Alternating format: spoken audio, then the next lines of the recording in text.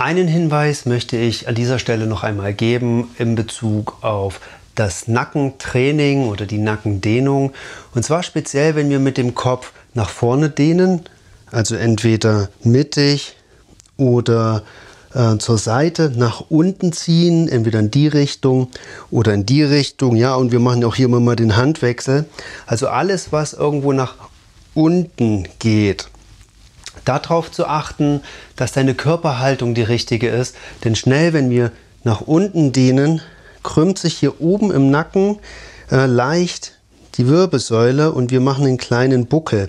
Und an der Stelle ist es wirklich sehr hilfreich, dir hier hinten den C7-Wirbel, das ist der, der hier im Nacken immer so ein kleines bisschen rausschaut, dir auch ein bisschen zu ähm, vorzustellen, zu vergegenwärtigen, dass du mit dem Teil hier hinten dich wirklich nach oben bewegst. Ja? Das heißt also, wenn du nach unten drückst, gleichzeitig hier in die Aufrichtung zu gehen, sodass einerseits der Kopf nach unten und andererseits der Hals nach oben gedehnt wird. Ja, ich drücke nach unten und hier gehe ich nach oben und du siehst, dass dann meine Wirbelsäule auch im Brustbereich sich aufrichtet und ich kann hier, wenn ich hier hinten nach hinten oben ziehe, kann ich auch sozusagen den, den Zug, die Dehnung noch ein bisschen mehr verstärken, als das, als wenn ich jetzt einfach nur nach unten drücke und nachgebe.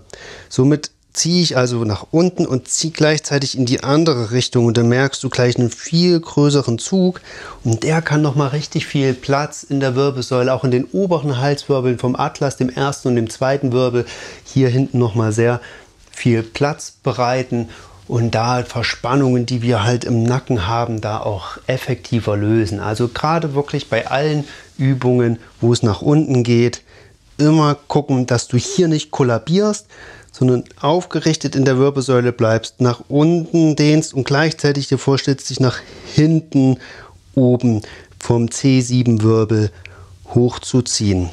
Also ein Zug in beide Richtungen gleichzeitig. Das bringt wirklich nochmal ganz viel Platz in der Nackenwirbelsäule und kann Verspannungen effektiver lösen.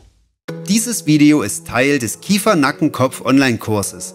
Mit über 10 Stunden Videomaterial an detaillierten Erklärungen und geführten Übungen zur Lockerung, Mobilisierung, Entspannung und Dehnung lernst du deine Schmerzen im Kiefer, Nacken und Kopf zu heilen. Zusätzliche Achtsamkeitsübungen und Meditationen, Übungen mit der Faszienrolle und entspannungstherapeutische Übungsserien bringen dir bei, wieder in ein schmerzbefreites Leben zurückzufinden. Starte in deine schmerzfreie Zukunft noch heute. Weitere Infos und kostenlose Einblicke findest du auf kiefer-nacken-kopf kopf.de oder auf kuyome.com.